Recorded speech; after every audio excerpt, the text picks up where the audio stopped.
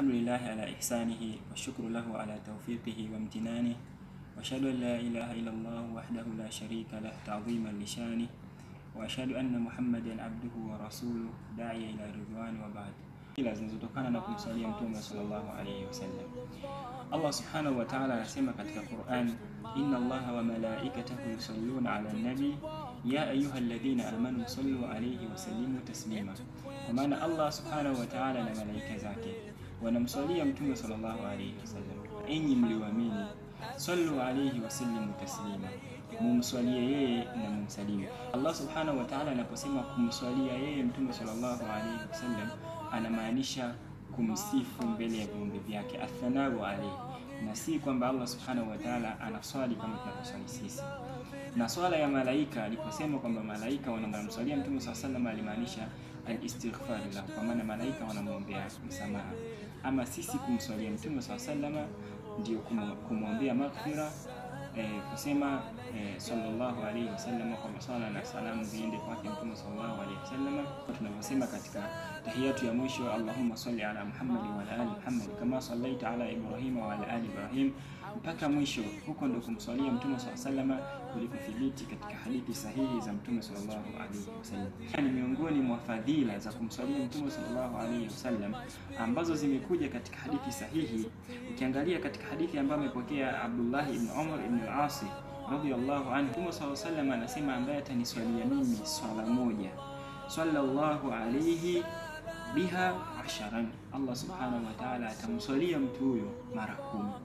Rawahu Muslim, hadithi hii kapokea Imam Muslim. Kwa maana wewe ukimswalia Allah Mtume swalla sallama mara moja, Allah subhanahu wa ta'ala atakuswalia mara kumi, na kama tulivyosema, Allah akukuswalia maana yake athanau, atakutaja atakusifia katika viumbe vyake, katika malaika zake, muone mja wangu fulani anamswalia mja wangu Muhammad sallallahu alaihi wasallam.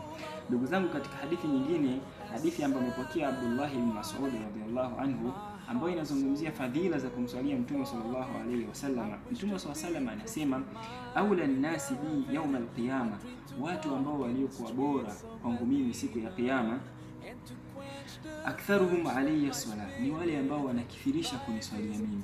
Hao ndio watu ambao ni bora kwake mtume sallallahu alaihi wasallam. Hadithi hii kapokea Tirmidhi. Hadithi ipo katika kitabu cha Tirmidhi, waqala hadithun hasanun, na Tirmidhi anasema hadithi hii ni nzuri, kwa maana hadithi hii ni sahihi.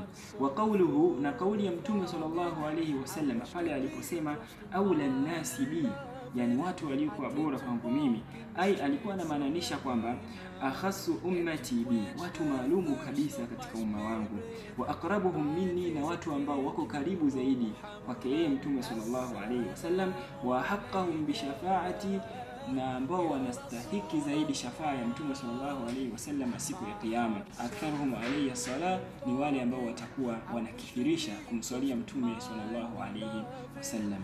Kumswalia mtume sallallahu alaihi wasallam hakuna muda maalum, muda wowote ambao Allah subhanahu wa ta'ala anakuwezesha kufanya hiyo dhikri, kumtaja mtume sallallahu alaihi kumswalia mtume sallallahu kama ilivyothibiti katika, katika sunna, basi mtu inatakiwa afanye, isipokuwa kuna hususiyati kuna baadhi ya nyakati. Hadithi sahihi, inna min afdal ayamikum, hakika miongoni mwa masiku yaliyokuwa bora katika masiku yenu, yaumul juma, ni siku ya Ijumaa. Kama tunavyojua Ijumaa ni idi ya wiki, kwa maana Ijumaa ni siku maalum ya wiki.